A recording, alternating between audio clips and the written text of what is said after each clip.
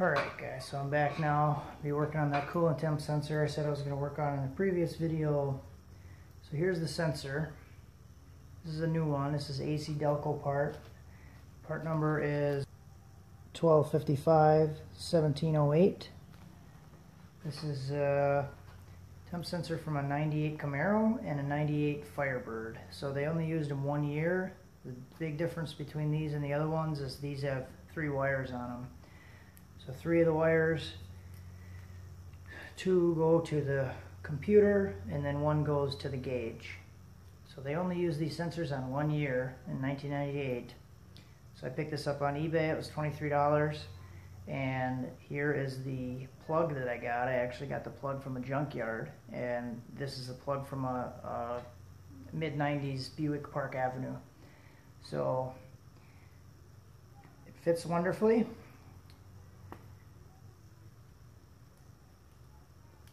A little snug, fits in there pretty nice. So the plug is from a Buick Park Avenue, but this plug is actually pretty common. It's used for quite a few things. It's also used for the throttle position sensor. So worst case, if you needed one, you could go to the junkyard and cut the uh, plug from a throttle position sensor off or just order one. They're like 10 or 15 bucks. When I was at the junkyard, I got this plug and I brought it up to the counter a couple minutes before close and they gave it to me for free. So that was pretty nice and then this was $23.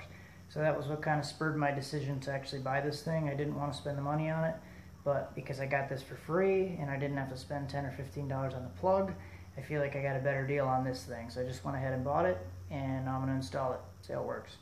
Alright, so I'm to go after this temp sensor now. Pull it off. I got the new one sitting right next to me so I can hopefully get it kind of quick. And not spill all the water all over the place.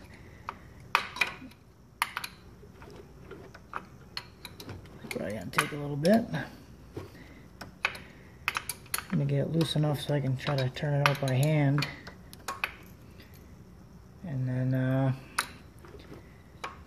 hopefully I can get this in there quick enough. Alright, so I'm gonna try to do this like a ninja.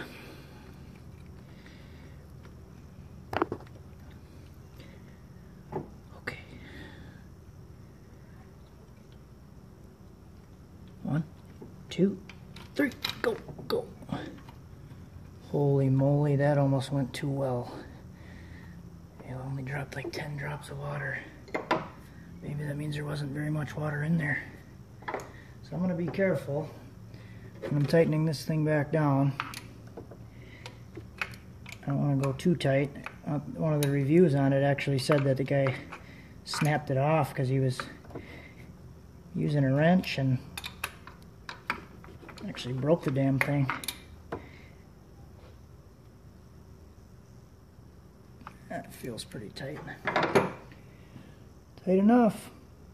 All right. So I think I'll start by just taking the plug. I'm going to put the plug on.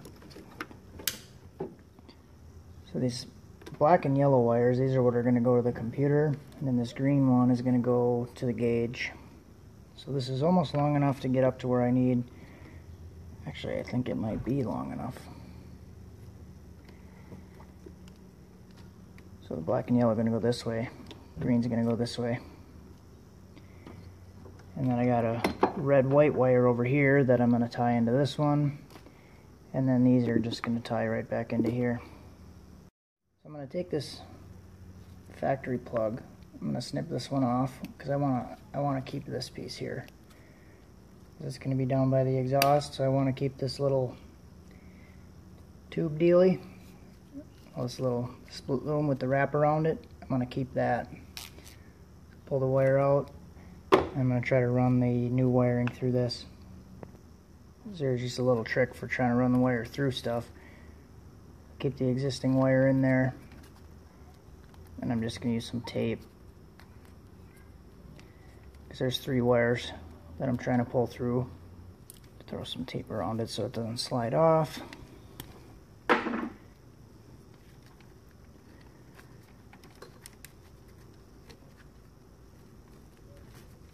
There, now I got all three wires run through there. So it's loomed. I can just go ahead and pull all this tape back off. Does that worked out okay? I'm just gonna go through, attach these wires, figure out the about approximate length that I need. And we'll cut and strip them.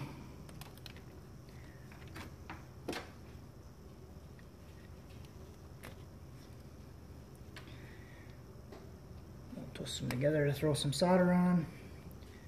So that wasn't the right one. I guess I just pre-stripped the other one. How about that? This is going to come through.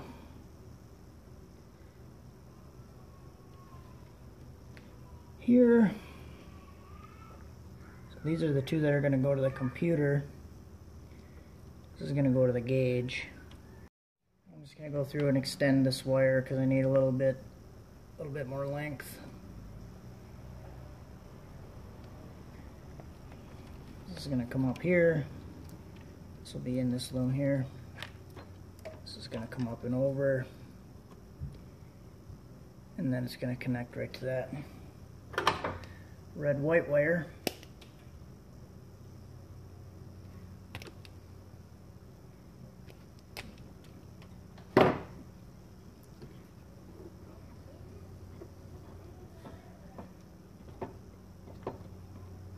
Just these together, get these ready for solder. So I may even just leave it like this and test it and see if I can actually get some get some reading on that gauge. So let's try that. So I'm going to start it and I'll let it run. This will probably be the longest I've ever let it run. So just going to kind of monitor everything and make sure nothing's going to explode.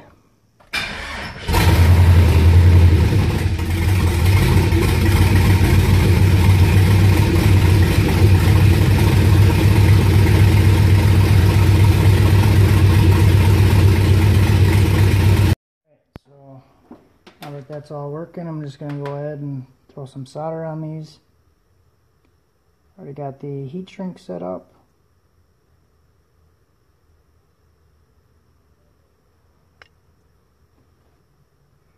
So I did just run and go get a new uh, little radiator hose for the top. So that'll be okay for temporary, but I have to figure out a permanent solution for that whole deal. Pull the heat shrink over the middle.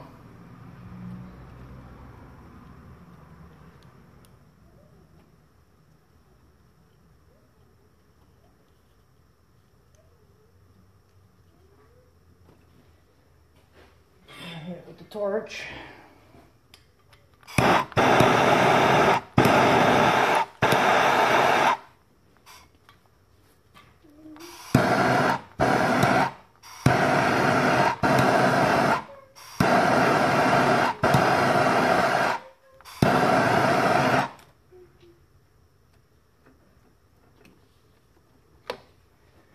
Kind of using a little big of big torch, but well. Alright, so now those are good. I'm just to throw some loom on it and then uh, that'll be all done.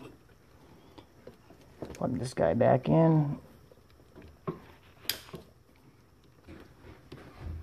you go.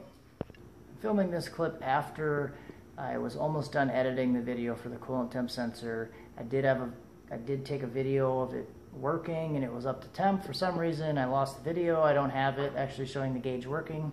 Um, so this is what I'm inserting instead. Uh, I would just start the engine, run it, and make a new clip, but there's a reason that I'm not doing that, and you have to stay tuned for the next video for that one. Um, so here's the rest of the video. Alright guys, so that wiring is uh, all done for the coolant temp sensor. The coolant temp sensor works, so that's good to go. Only thing left would be the oil pressure switch sensor sender. So I got one of those, picked one up for like seven bucks at the auto parts store. Um, so I'll be hooking that up one of these days, but I think my next uh, little project that I want to do is start working on getting the exhaust done. So I got all the parts that I need pretty much for the exhaust. I ordered some mufflers, so they're going to be here in a couple days.